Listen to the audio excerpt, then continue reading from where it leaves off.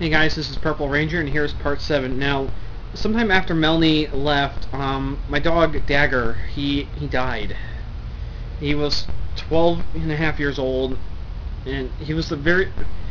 He was he was really sick. He was barely eating, and he was just really, really, like I said, he was just really, really sick, and I was pretty. I mean, my family and I were pretty upset about it because he was the first dog we got who was a rescue. He was fully grown when we got him, unlike the other three dogs we have, which who we got as puppies. Which, like I said, we're cool with that.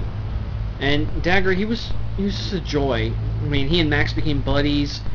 I remember this one time. I think it was like last year or or a couple of years ago. I can't remember which. Um, my family and I, we were in the kitchen right there, and Harvey distracted, my- my- had my mom distracted. All of a sudden, Dagger popped out from under under the kitchen table and sn- snagged her napkin, almost like a trapdoor spider. It was, I mean, hysterical.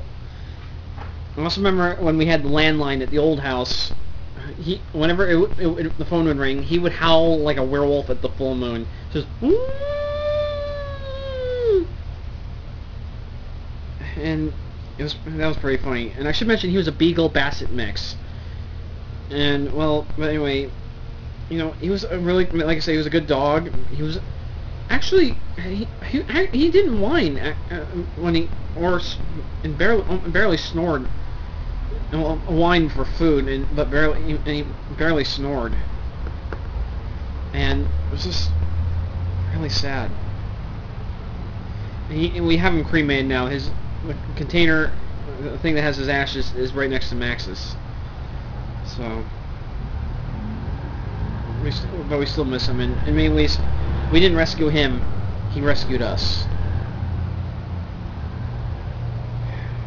We miss you, boy. Or should I say, Wolf? Because that was my nickname for him due to, the fact that he howled a lot and he would inhale his food. Now, um, this past January, I attended, the, Bethany and I attended the Shadow Specters preview at Dream Wizards in Rockville. It was the fifth anniversary of when Bethany and I met, first met, and we didn't meet online, like we, like I, like I met Mel, like Melanie and I did. We actually met there by chance, at the store waiting in line.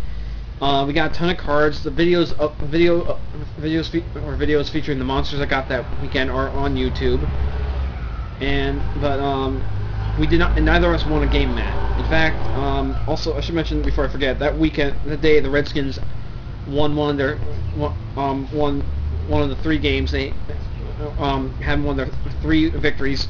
They won 30 to 24. Anyway, but it was a fun weekend. I got I bought, I bought some car, some loose cards, you know. Then Bethany and I we just hung out. We actually we actually came here in my house where we exchanged our our anniversary gifts. The videos uh, uh, video of that is actually on on Facebook where we're exchanging gifts and it was was a it was a good weekend. I mean, granted it was just after Dagger died, but still. You know, I think I'm gonna end this part. It'll probably be the shortest part, so this ends part seven.